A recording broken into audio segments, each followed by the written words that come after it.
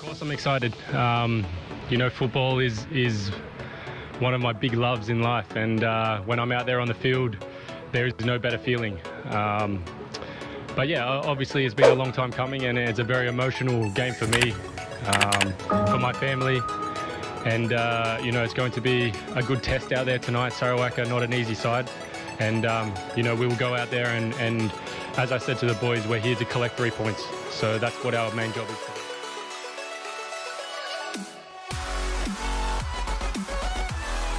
Baik gerakan ini masih lagi Quentin tolakan ke belakang untuk Brannigan. Ah! Jatuh satu kali, bangkit lima kali. Bagaikan burung Phoenix bangkit dari abu, bangkit membina satu keindahan baru. Quentin ah, Brandon Gunn hasil umpanan daripada Quentin Cheng dan lihat saja bagaimana kembalinya pemain ini.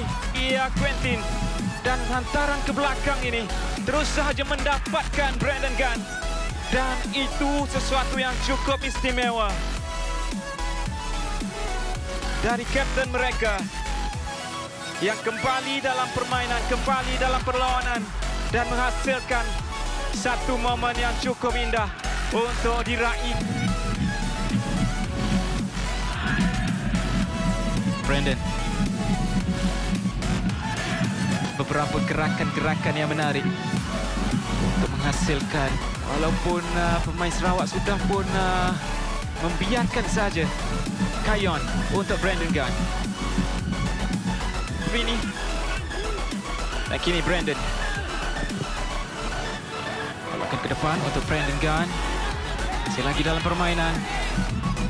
Nampak beliau mengalami sedikit kecederaan. Selagi di, hampir saja memberikan jaringan yang ketiga sebentar tadi untuk Selangor.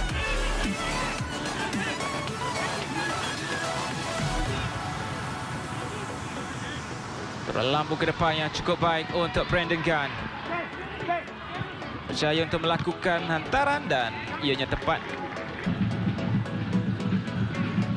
Brandon nampak terkena tangan namun uh, Permainan uh, masih lagi diteruskan. Brandon, umpanan ke depan yang baik untuk Kayon. Ditak. Lakan yang... Jatuh satu kali, bangkit lima kali.